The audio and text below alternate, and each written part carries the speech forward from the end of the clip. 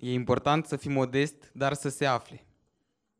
Eu sunt de acord. Știți câte cuvinte folosesc bărbații în medie într-o zi? Șapte mii. Știți câte cuvinte folosesc femeile? Nu o să pot să vă rog o singură mână. 25 de mii. De trei ori și încă ceva. Spun asta pentru că prietena mea, Ana, într-adevăr este cel mai mare și cel mai bun suporter pe care eu îl pot avea. Acum, acum nu știu, două luni, îmi căutam un, un apartament, pentru că voiam să mă mut de unde stăteam. Și aveam întâlniri, mă vedeam, primeam tot felul de promisiuni, dar nu se concretiza absolut nimic. Din nou, nu mă vedea nimeni.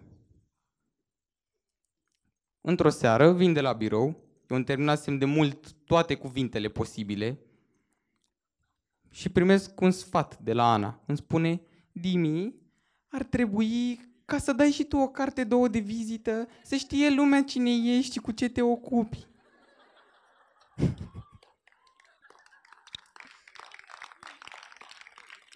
I-am ascultat sfatul.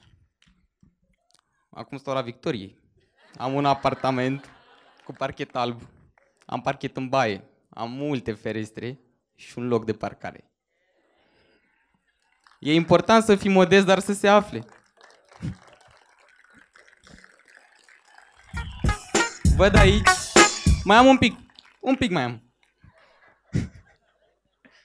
De-a lungul vieții mi-am dat seama că am o serie de convingeri. Una dintre ele este că în spatele unui om puternic stă un om și mai puternic care îl susține cu dragoste.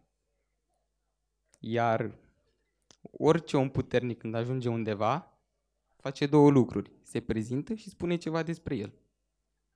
Pentru că da, e important să fii modest, dar să se afle. Și mă uit în sală și văd numai oameni puternici și frumoși. Și aș vrea să știu cine este în spatele vostru. Vă mulțumesc!